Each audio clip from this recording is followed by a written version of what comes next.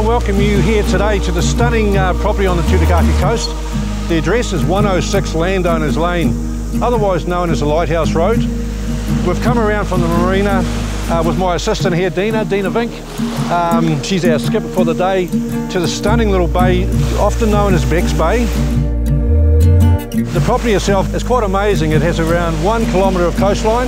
It's 5.84 hectare with a mixture of bush, grassland, hilltops, views from everywhere. It borders this bay, so it's virtually a private bay. Uh, the other half is shared with the Department of Conservation. Absolutely stunning.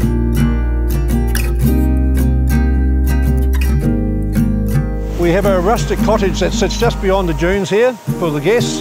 And up the top we have the primary dwelling, which looks down into the marina, out to sea and so forth.